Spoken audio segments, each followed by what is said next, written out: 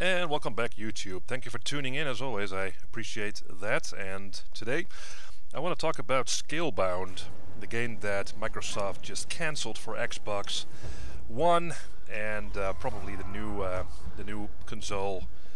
Uh, so in the background you'll see some more gameplay of Lords of the Fallen and uh, you know I don't want to be I mean blocked or anything by Microsoft if I upload the um, the gameplay demo, trailer, or whatever it was of Scalebound, but I can talk a bit about Scalebound. I think it's really a shame that Microsoft cancelled that game.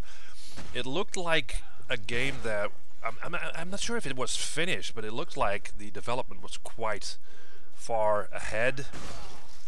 It must be a, a real bummer for all the people involved. Was it by Platinum Games that this game got cancelled, so there, there, there are a lot of people working on such a game, and some at some point Microsoft comes in and says, you know what, it's been fun, let's cancel this whole thing.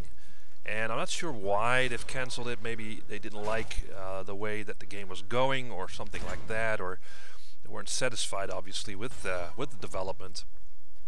But for the average gamer, looking at the trailer, it looks pretty epic. You know, it looks, it has this grand scale. It looks like a mix between, let's say, God of War and Devil May Cry, something like that. Although it seems to have a very generic-looking character, main character, but still, you know, it looks like an epic game. And this this game could have been a new a new series, a new IP for Microsoft, but because they they need one. They need a new IP, I think, because I mean, what what else is there? I mean, there's there's there's Crackdown three. There is um, let, let me think. I mean, it's it's hard to to come up with a Halo Wars or something. Uh, State of Decay two. Uh, what else? I mean, there aren't a whole lot of Xbox exclusives to blow gamers away, it's just a shame that uh, something new is being canned, and it just kind of shows that I don't know, Microsoft doesn't want to take the risk, or that they just don't have the faith in something new.